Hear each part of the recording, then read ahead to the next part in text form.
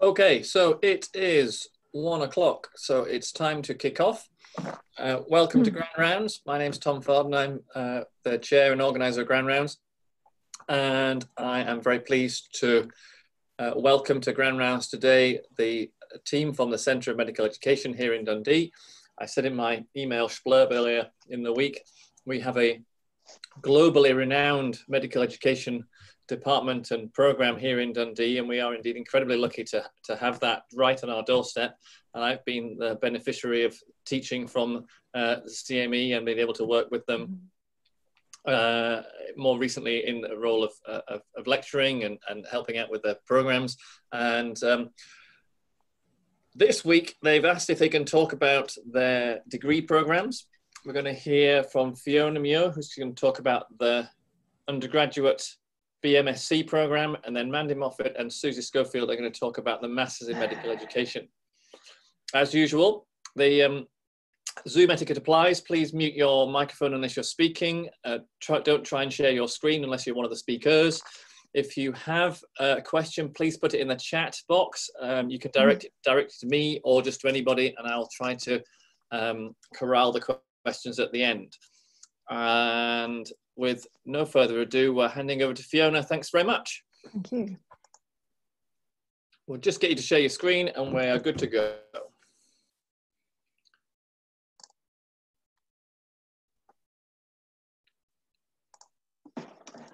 Okay, well, thank you, Tom. That's great. Um, yes, I'm here today to present the BMSc Medical Education Integrated Degree Programme that we set up really 10 years ago now within the medical school. So I'm going to give you an overview of what we've been doing in the past 10 years and hopefully inform you a little of, of our, uh, our progress.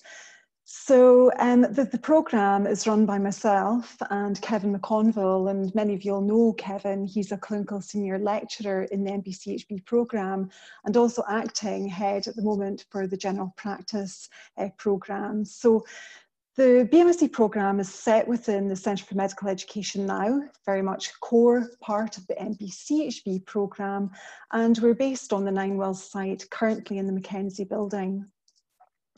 So really just to give you a little bit of an overview of what we've done and where we're at, um, the programme was created by myself and Susan Law, and Susan Law was a GP here in the department um, a few years ago. She retired maybe about three years ago now. But Susan and I set up the BMSc approximately 10 years ago. And it's the first integrated medical education degree in Scotland. And it was at that time, and it still currently is the only integrated uh, medical education degree that we're aware of.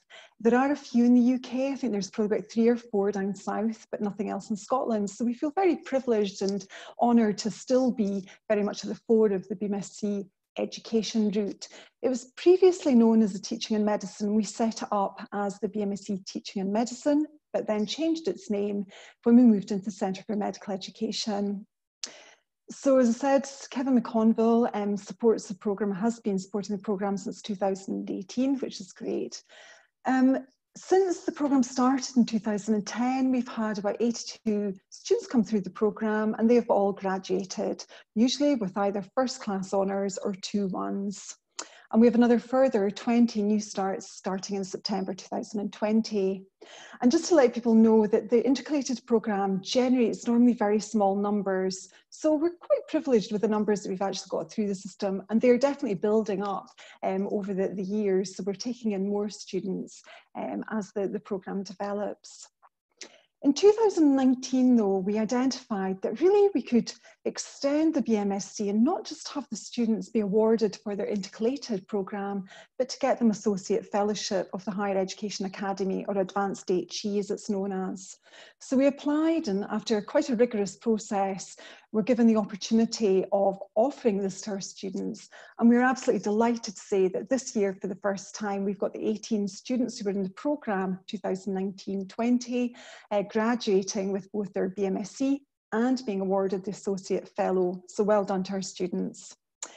Um, all students at the current time have been medical students of the programme and the programme is offered at the end of year three before the students move into year four. So they basically take one year out, to do this intercalated uh, year.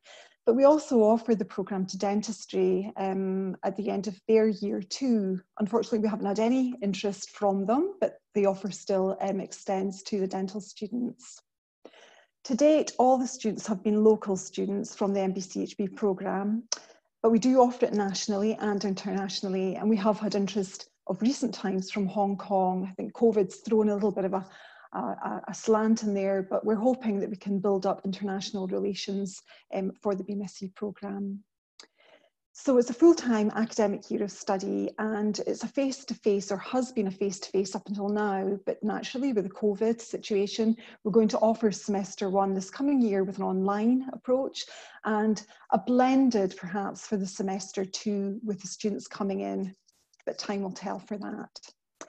So the main approach for the, the, the BMS programme is really to draw on the, the students who are interested in developing their skills and knowledge in medical education and we think that we give them a high quality um, educational experience, which is really very much supported by both academic and our clinical, uh, um, clinical staff. So we're delighted to have so many of our, our staff on board teaching in this programme. So the students can get further information either through UK Intercalate, um, which is an online um, support system for them to look at the different BMSc programs that are available and where they're um, access accessible from. And they can also access the Dundee University one, and this is the one on the, I think it would be the left side of the screen. Um, so all the details regarding entry requirements and the way in which they can be admitted to the programme, the fees, etc., are accessible through this link. On the other side, um, it's again just showing them that they apply to the medical school. So if they're interested in coming in the programme, they make their initial application to the medical school and with their application, they include a personal statement, CVs and references. At the point of admission, Kevin and myself will screen the applicants and decide who would merit coming on the, the BMSc programme. And I have to say, for all the students who've put us down as a first choice, to date we've accepted all of them. Very, very keen to encourage youngsters to come into medical, medical education. And we see this as being one of the, the best routes. So within the programme itself, we deliver three large modules and you'll see the bubbles here on the screen that the, there's one module which has four units of assessment. And the first one's all about the core educator knowledge, skills and attitudes. And the units of assessment are to do with the assessment methodology, educational theory and practice within the context in which they're working in, policy practice, and curriculum design and development. In addition to that, we very much focus on their personal and professional development, and that fits very neatly into their teaching portfolio. And I'm going to come back to that just in a minute. And then the third component is for them to identify a project and to build up their project into um, a, piece of research, which will then follow through into dissertation. And to support that, there's a unit called research design, and part of that is critical appraisal of the literature in preparation for then undertaking the research itself. So when the students come in the programme, we say to them, you know, you've got to really work hard and you can play hard. So we allow them opportunities, particularly within the opportunities that, that exist within building up their portfolio and linking that very much to the modules that we offer for example, they all take an opportunity of going through to the Scottish Parliament to listen to First Minister's question time and to uh, give them a, an experience of just hearing how policy and practice is made. We also give them opportunities of going down to conferences, for example, down to London, to the ASME and AMEE conferences, wherever they're held in the UK. And we certainly encourage the students to bring other ideas to us in order for them to gain experience, all-rounded experience um, from an educator's perspective and that may well include a number of um, key uh, meetings within, within the medical school curriculum, um, going along and seeing how policy and practice is made, how curriculum has changed, etc. So within the, uh, the programmes, say we do obviously have to assess them and the summative assessment is through coursework and portfolio work and the research project dissertation. So the three modules there's the coursework, which is made of three components of two of 3,000 word assignments and one critical appraisal of 1,500 word assignment. The teaching portfolio of evidence is authentic evidence. So they have got to demonstrate from applying the theory to practice and gaining the experience of teaching and other um, opportunities in order to build up their portfolio, which is a reflective journey. Within that 3,000 word teaching portfolio, they embed 1,400 words of that um, in relation to the um, fellowship, the associate fellowship requirements, which is all to do with activities, knowledge and values. so we give them guidance and support in developing um, that part of the, the, the portfolio but we also allow creativity and we very much encourage the students to develop the portfolio in line with their own areas of interest, their own experiences, so everyone is individualised, but yet they've got to meet the criteria that we set. And then the research project, so they, they follow their research project through right from the start of the programme in September, right the way through until May when they have their hand in of their dissertation. They're given supervision for this and the supervisors are great. We have a range of supervisors in the medical school and out with who support the projects. And this project or dissertation at the end of the time is equivalent to 11,000 words. So we encourage them and support them through this.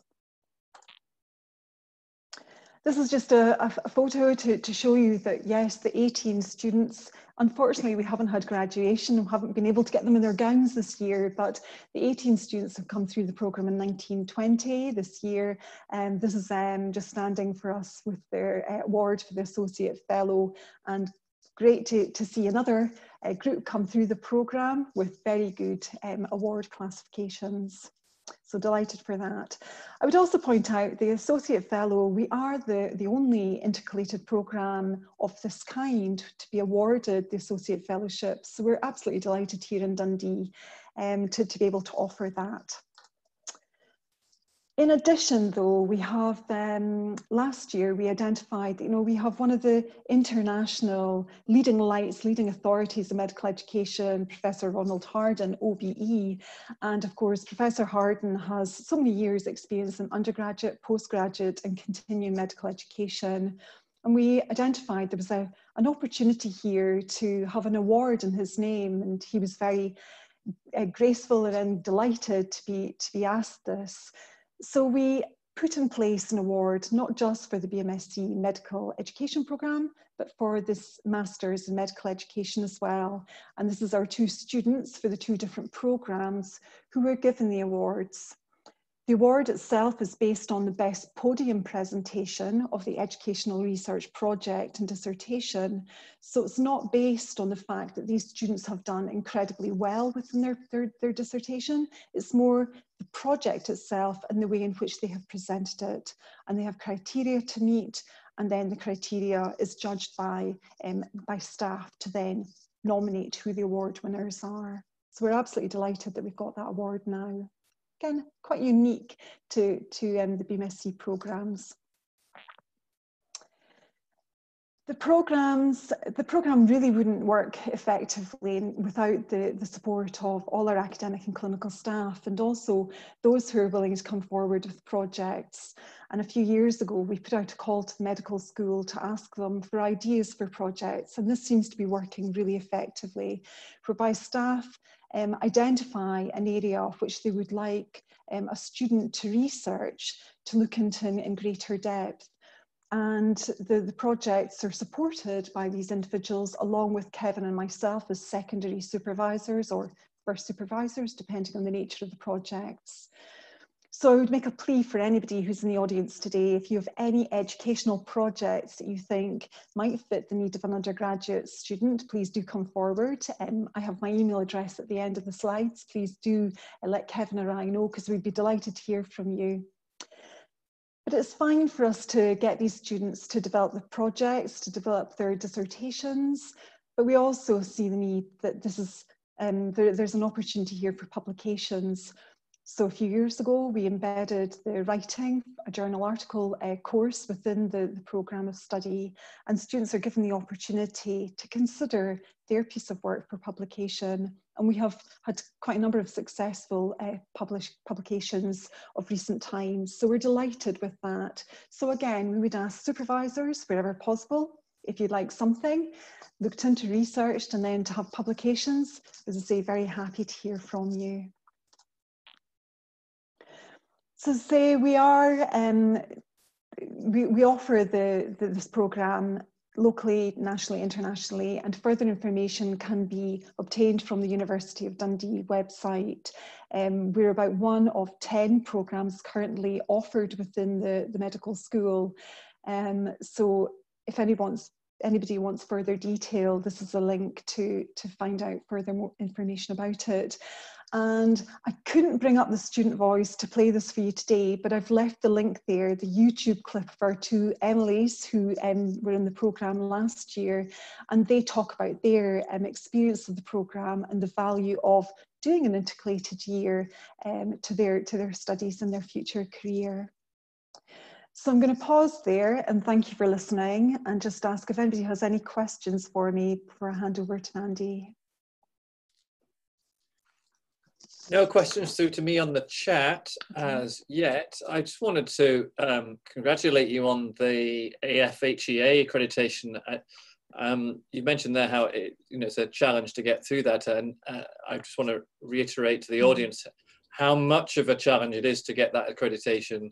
Um, yeah. uh, having done it, you know, on an individual basis, just from it, it really is a very robust process. Um, and to get that accreditation for an entire um, program, I think is fantastic. So well done to the entire team for that. That's really a, a, massive accomplishment. Thank you. Um, Mandy, are we going straight to you, or are we going to Susie? We could do. I'll uh, I'll share our slides. Um,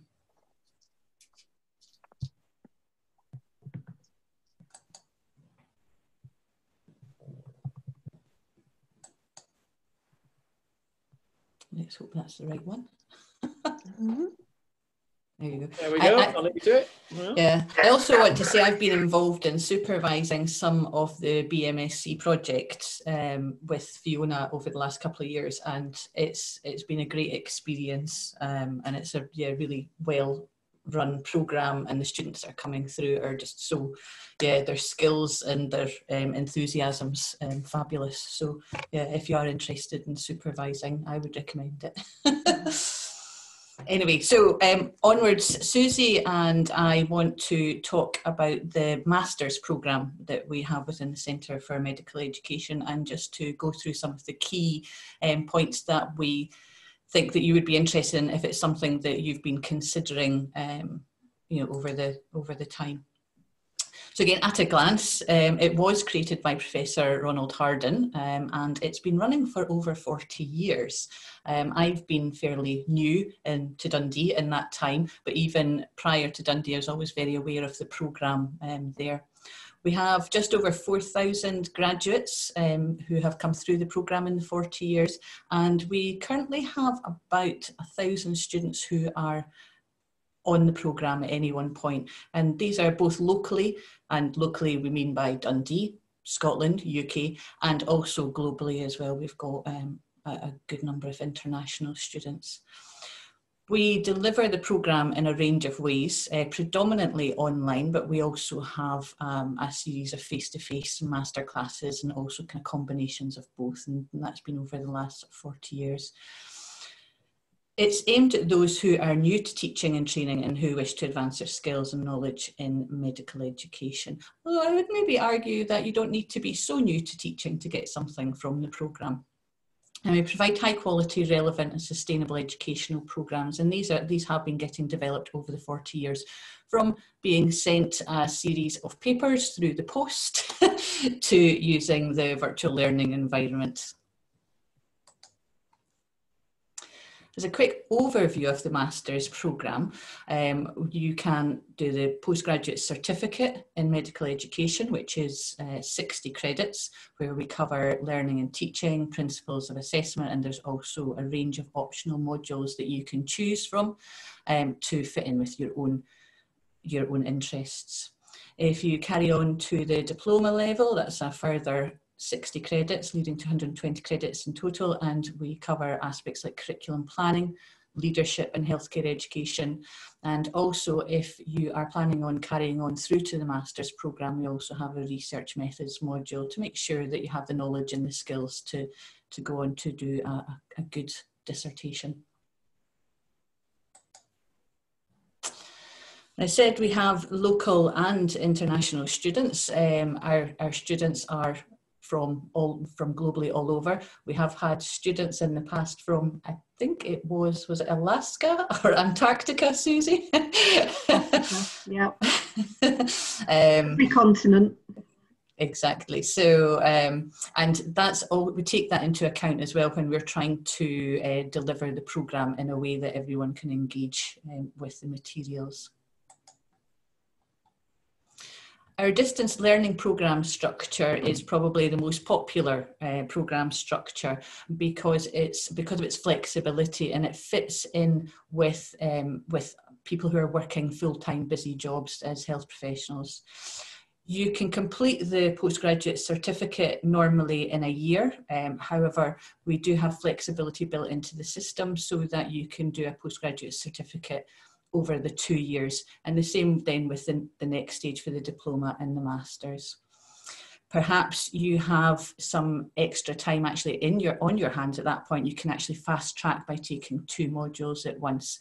Um, although each of the modules are 20 credits, so that's a notional 200 hours of time. So we do have to get permission from the program director um, for that.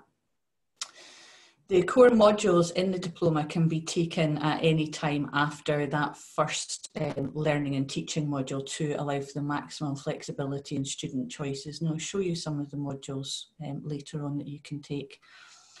We also have three intakes per year, so you don't just have to start in September like traditional postgraduate courses. You can start in the January, you can start in the May, and you can start in September with the distance learning programme, there's no compulsory face-to-face -face teaching in Dundee, with the exception of the simulation module, um, which started last year, and we have one week face-to-face -face, um, in Dundee. But if you're based in Dundee, this should should be uh, easy enough to, to join into.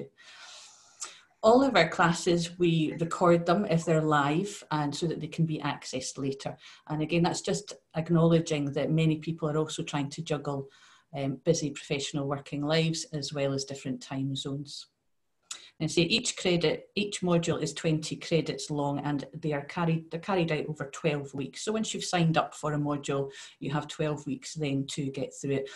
All the materials are available from day one. So um, again, trying to fit in with that flexible time zone. So you don't have to be, you know, be available for seven hours every single week. If you've got more hours in one week than the other, then you can work through them at your own pace.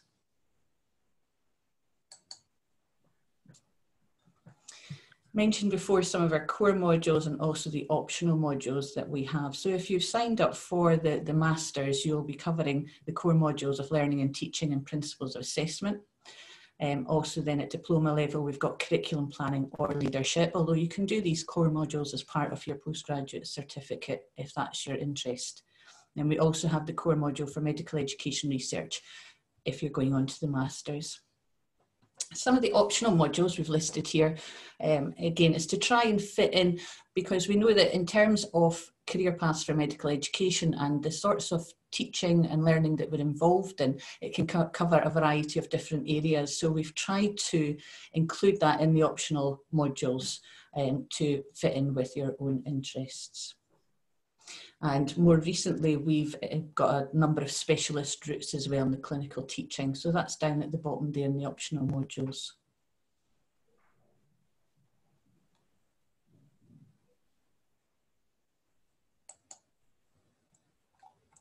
In terms of the 12 week timeline, um, as I say, once you've signed up to a module, you have 12 weeks to complete it. You're given all the module content in week one, but there's also a series of reflections and set readings for you to do. There's some formative activities, so you'll be supported in your learning. We have lots of discussion groups as well, so that you can interact with your, your, your classmates and recorded lectures as well from our Collaborate series. And then at the end of that, you have your week 12, which is your summative ass assignment deadline. So we're very flexible with as many things as we can, but the week 12 summative assessment deadline is the deadline there um, to, to finish up. In terms of the assignments, um, all of the assignments are written assignments. There's no exams um, that are related to, to the programme. And all of the assignments are contextualised to your own work setting. So we hope then that it's useful. It's not just theory, it's also thinking about putting that back into your own teaching practice. And as I said before, there's lots of opportunities for formative assessment and also peer review as well we have the feedback dialogue um, at the bottom. So it's it's throughout that 12 week period when you go through the module, um, you're not left to, to get on with it yourself. well, you are, the learning is yours, but uh, we're there to support that as well. The delivery for distance learning is through our virtual learning environment, which is Moodle.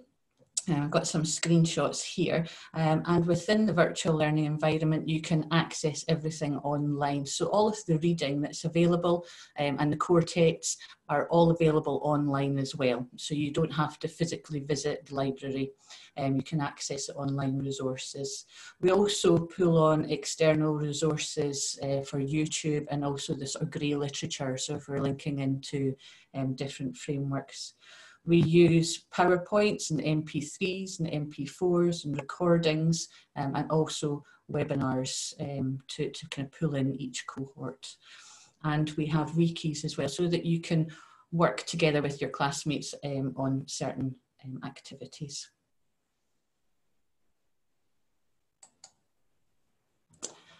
activities. at this point, I'm going to move on to Susie, and she's going to tell us a little bit about the um, the programs and the way that they're structured. I'm going to rely on you, Mandy, to forward the slides. Great, good. the joys of Zoom.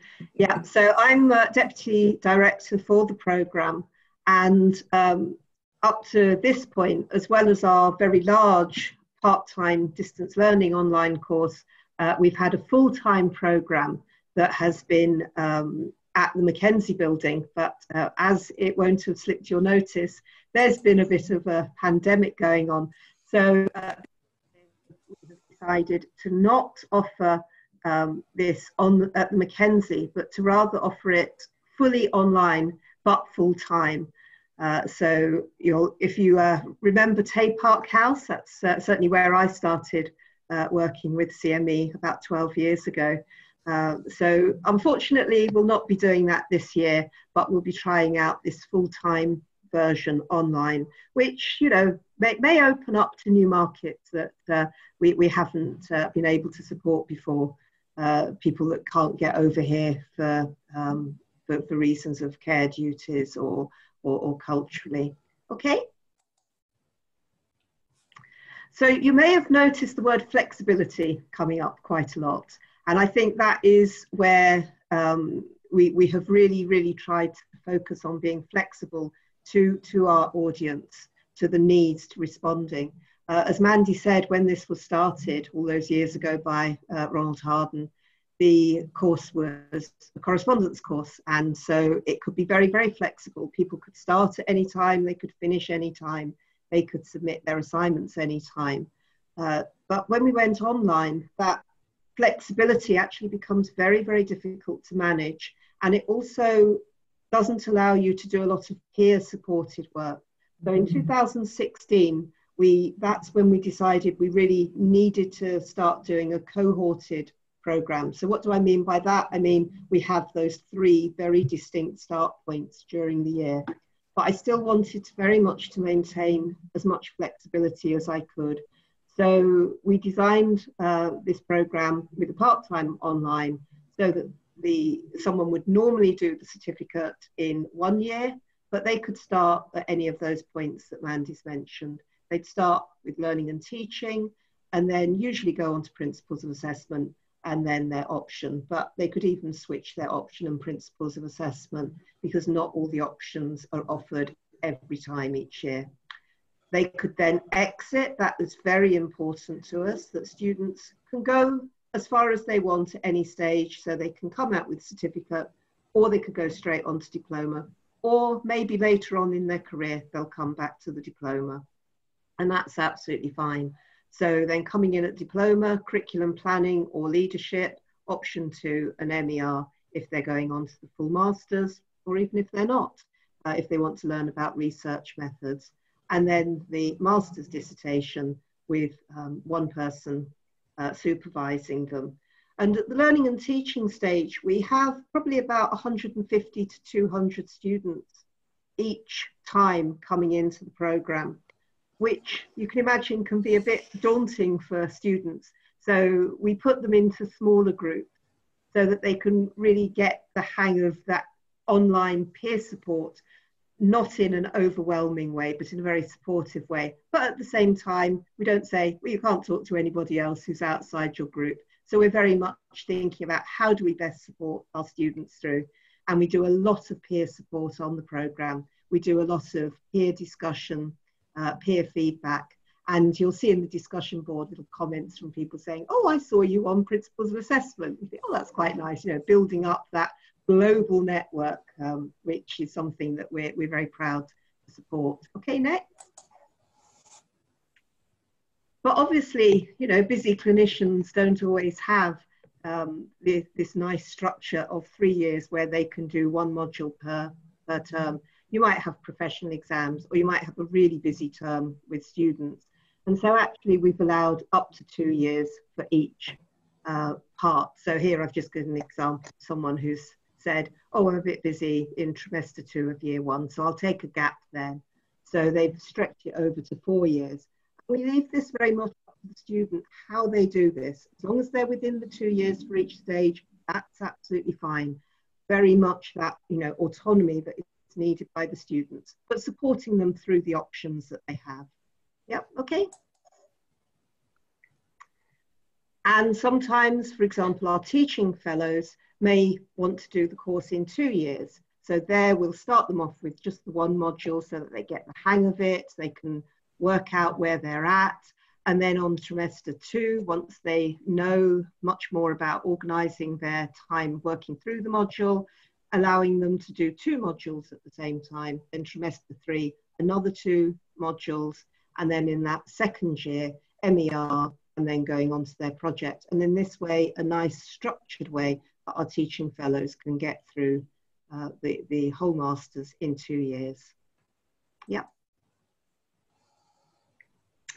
So this is just reiterating really what uh, we've already covered about the different stages and the different exit points. And the dissertation is uh, about probably a more, more like 15,000 word dissertation. 60 credits, so that's a notional 600 hours, but again, as Mandy said, very, very contextualized to the interests and the needs of the students. That said, sometimes our students would like, you know, a little bit of guidance on their topic. And as Fiona has said for the BMSc, again, we welcome people from the School of Medicine who maybe actually want to make a suggestion of a dissertation project. And that comes through uh, SheHab is the lead for that. Yep, okay. some of our students have actually done an online ESME course um, through AMEE, the Association for Medical Education Europe, and they have already done approximately 70 hours uh, notional time of studying on their ESME course. So we developed um, what's called recognised prior learning routine, and there the students need to do an extra um, reflection on what they have learned through their ESME course, which will take them up to 10 credits, and then they'll do learning transitions, which is 10 credits, and then the other two modules. So again, that flexibility, always, you know, working with the students and working with what they've um, done already. Yep, Mandy? Specialty routes in dental education, anaesthetics, general practitioners, oncology, radiology, simulation, and surgeons uh, for people who want a named award at their certificate. So each of those would have to do their own specialty uh, module as their option for their third module of the certificate. The simulation, as Mandy's already mentioned, they need to do a one week um, on at Ninewells. But as I've already mentioned, because of COVID, we're now for this year, for January's um, simulation module, we are developing a totally online simulation week um, just for this COVID year. But we will get feedback from the students, we'll find out how that goes, and that may be an option uh, that we offer in future. Yep. Okay, and as you would expect, we are developing knowledge exchange uh, with a variety of partners. We also have a lot of uh, memorand, uh, trying to think what the me memorandum is, memoranda um, of understanding, uh, working with in other institutions across the globe. So, you know, it's, it's a really lively um, set of discussion boards, I'm sure many would agree, with some really, really interesting um, cultural differences in education coming through. Um, you know, all sorts of things coming up. You think, oh, gosh, didn't realize that copyright law was very different in India, for example, was uh, something that came up in technology enhanced learning. So, you know, that's, that's really interesting for us as, as lecturers as well. And of course, when you get onto the project, then uh, that becomes even more interesting. Mm. Yep, Andy. Okay, I'll hand back to Mandy now to talk about student feedback. Yeah, um, i will leave you to actually read the student feedback that's on here, but um, the feedback that we do get from students is very positive. And one of our previous PhD students uh, looked at the the careers of our students sort of after the master's program and where they ended up, and um, it certainly seemed to be a an opportunity to really build on that learning from the masters and almost supercharge their career if medical education you know was their was their focus. So um, i think it has been transformational for a number of our students. And quite often when we bump into previous students at conferences um, that's reflected um, in the enthusiasm when they come up to our our stand and they say oh hi and we get to catch up. Um, and some of our some of our, our master's program students come back um, as doctoral students um, and also then support us in terms of being our online tutors that are across across the globe as well.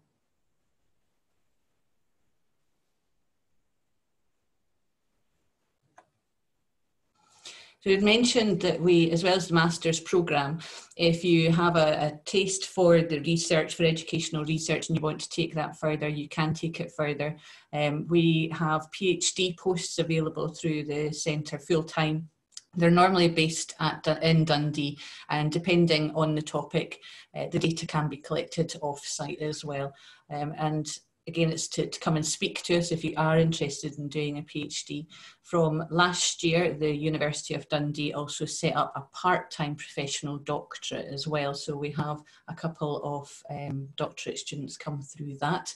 And Susie is the the lead for that for CME. If you have any questions, uh, she'll be able to help. And these are just some photographs of our previous uh, successful PhD students. And in fact, yes, the middle one, um, Ahsan Sethi, is the one that Man just referred to. So uh, if you want to read up anything about the, the, the transformation experienced by students um, going through the certificate and through the full masters, um, then Sethi et al. Um, as well as that, and I think Stella Howden may have flagged this up at uh, Grand Rounds uh, a couple of weeks ago. Um, but with the with the pandemic, I think a lot of people have had to pivot uh, their teaching, which would normally be face to face, to online. Um, and so we have set up a CME webinar series, uh, if you haven't heard of it. And from that, you can download our Getting Started booklets. Um, but as well as that, that gives you access to a series of webinars that we've been running for the last uh, three months that we've had some great feedback on. And we're planning on carrying on as well over the next few months. So if you're interested in that, um, I've left the the sort of short link there. You can sign up and you can get details of all the up and coming webinars as well as have access to the recordings from the previous webinars as well.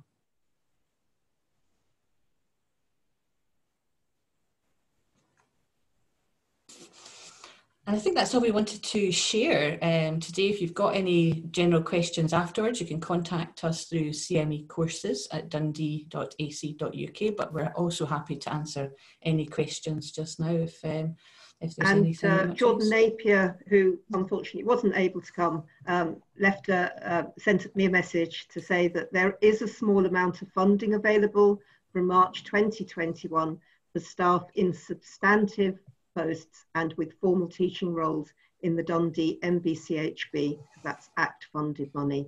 So for example, block organisers. Okay, I think I've stopped sharing my screen there, have I? Yeah, yeah. excellent. So th thanks very much. Um, there's, there's no questions here in the chat, and the question I had was going to be about funding, and Jordan has uh, answered that question via the medium of Susie.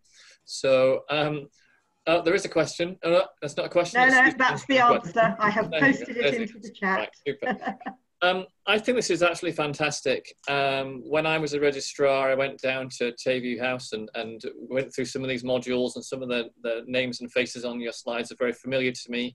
And that started my journey into medical education.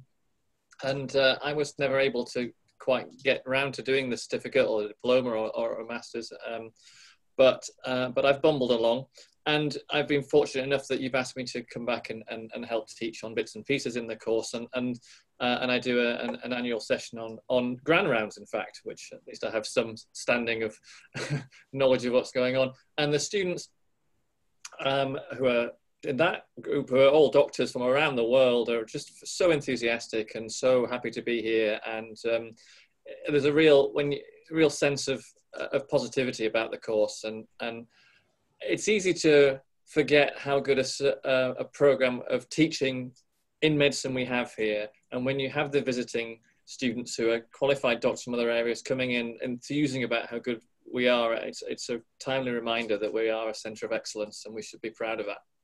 And you particularly three should be particularly proud of it because you run it. So thank you very much. Thank you. Uh, if there's no more questions from the audience, then I'll just pull things to a conclusion. The, um, this recording will be edited briefly and then put on YouTube. You can follow our YouTube channel. The link is in the email I send around every week. Um, there are videos going back to 2013 if you want to top up your CPD um, on a variety of topics. Next week's uh, talk visiting speaker, although not very visiting, uh, because it'll just be on Zoom, um, but uh, Prem Shekar is a cardiothoracic surgery uh, in Boston and an associate professor of surgery in the Harvard Medical School. So he is going to talk about cardiothoracic surgery um, in, in America and the, the advances that they're making. But of course, now he's going to be able to talk to us about how COVID has really affected that speciality, which I think is going to be very interesting. Um, and I hope to tempt him into talking about COVID in America without trying to be too political about it, but it's clearly been handled very differently in America than it has been over here. And I hope he'll be able to share some insight into how that's affected um, yeah, the uh, people working in that environment. Um, but we'll see. Anyway, that'll be next week, same time, same place. Thanks again to Fiona and to Mandy and to Susie for a really interesting talk. Thanks to everyone for joining and I'll sign off. Enjoy the rest of your week. Take care now. Bye. Thank you. Bye. Thanks.